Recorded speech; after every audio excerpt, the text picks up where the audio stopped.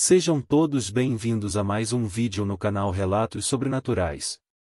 Eu sou o Fábio e antes de começarmos não esqueça daquele super like. De se inscrever se é a primeira vez aqui com a gente também de comentar. Pois sua opinião é muito importante e não esquece de seguir nossa página no Facebook. Então chega de enrolação e vamos ao vídeo. A lenda do Saci Pererê é considerada uma das mais emblemáticas do folclore brasileiro. O Saci Pererê, ou simplesmente Saci, é um menino negro e travesso, que fuma cachimbo e carrega uma carapuça vermelha que lhe concede poderes mágicos. A lenda do Saci Pererê é considerada uma das mais emblemáticas do folclore brasileiro. O Saci Pererê, ou simplesmente Saci, é um menino negro e travesso, que fuma cachimbo e carrega uma carapuça vermelha que lhe concede poderes mágicos.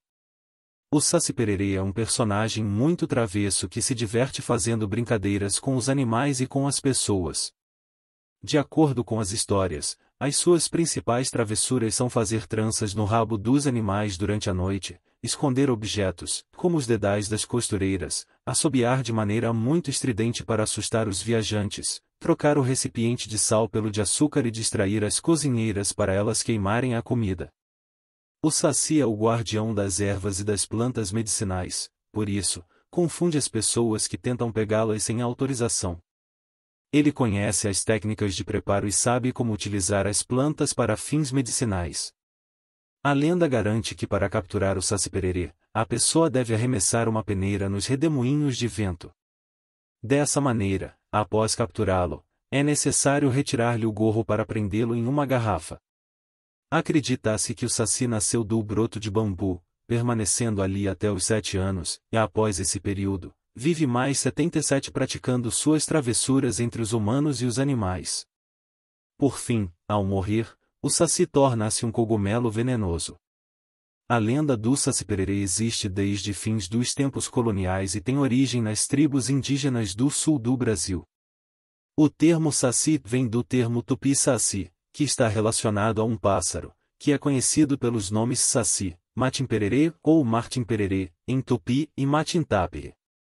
Inicialmente, o saci era retratado como um personagem negro e endiabrado, que possuía duas pernas e um rabo. A partir da influência africana, ele perde a perna lutando capoeira e adquire o hábito de fumar o pito, ou seja, o cachimbo.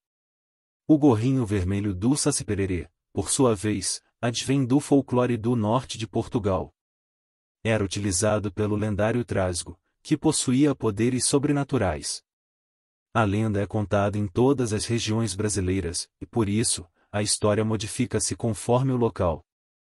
Em alguns lugares, ele possui nomes diferentes como Insaci Sererê, Matim Pererê, Matita Perê, Saci Sassurá e Saci Trique.